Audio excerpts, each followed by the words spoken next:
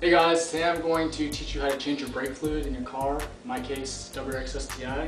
So these are the tools you need. You need a turkey baster, flathead screwdriver, a funnel, 11 millimeter wrench, just an empty bottle and some vinyl tubing to catch the uh, brake fluid, a bottle squirter of water, and brake fluid. So I have you know, the genuine Subaru stuff. These are 12 fluid ounce bottles. I got two of them, so 24 ounces, maybe a little more and uh, we'll get to it. All right, so the first thing you wanna do is take off your brake fluid cap, yellow, and then take out this uh, like particle filter that's actually in the mass in the brake cylinder.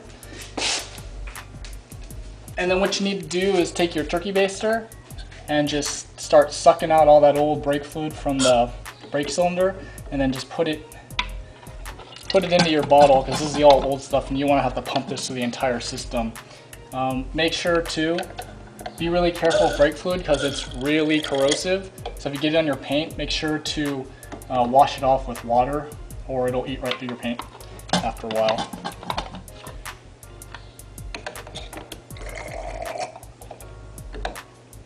Alright, so after you've gotten as much of the brake fluid out of the reservoir, it's the reservoir, not a cylinder, um, what you want to do is fill it up with the new brake fluid and make sure there's plenty in there because you're going to pump all the old stuff that's still in there through the system so you get nice clean brake fluid. So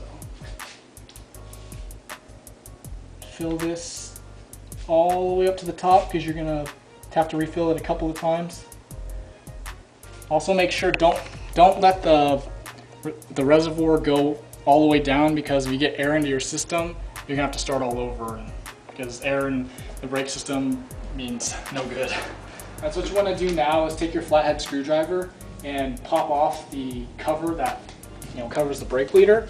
And then what you want to do is take your 11 millimeter open wrench, put it over the screw, and then put your vinyl tubing over the hole. All right, you ready? Yeah. Here you go. Now what you need to do is have your partner pump the brake, and you're gonna open the valve, and fluid will come out, and then he's gonna keep pumping the brake, and fluid will keep coming out until you've got clean fluid. So go. Go. Go.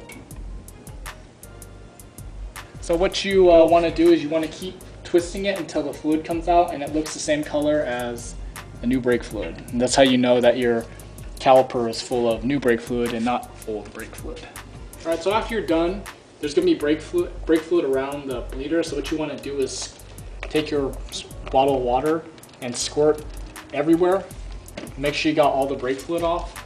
And then what you should do is you should just take a towel and wipe it off. And then you're good to go. All right, so make sure after every time you pump one of the calipers, make sure you add more brake fluid to the uh, reservoir because you don't want to be low on brake fluid because like I said before, you don't want to go all the way down because if you get air in the into the brake system, your brakes are basically going to fail. So make sure you have plenty of fluid in at all times. So that's basically it on how to uh, change your brake fluid. Make sure you do it in the correct order. For this car, it happens to be the passenger front, uh, driver rear, and then driver front, and then passenger rear, so in a crisscross.